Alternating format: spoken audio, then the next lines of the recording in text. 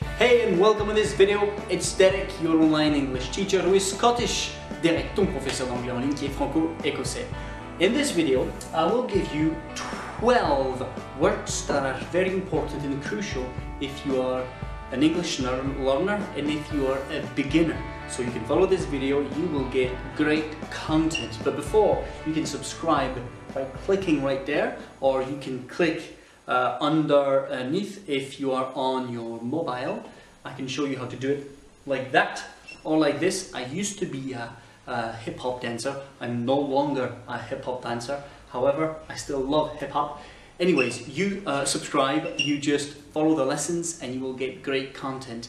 Uh, all the videos are in French except the first video of the month.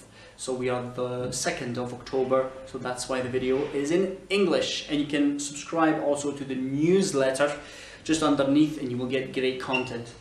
Let's go back to our words. 12 words to know, to master, to understand if you are a beginner, an English learner. My means, for example, my phone. This is my phone, my. I, diphthong, I. This is me, me.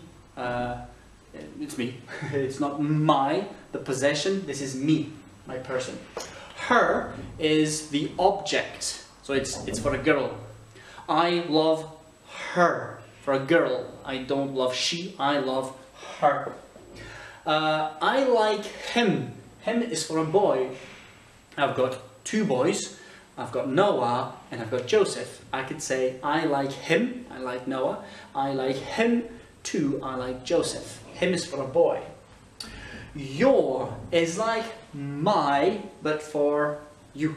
Your phone. So for example, this is my phone, and uh, he could say this is your phone.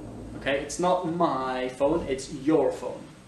Just it's an adjective. Uh, it's a little bit like French. I guess you can understand it. Just.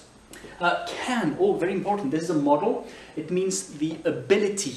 I can speak English. I can speak English. The ability, the capacity to do something.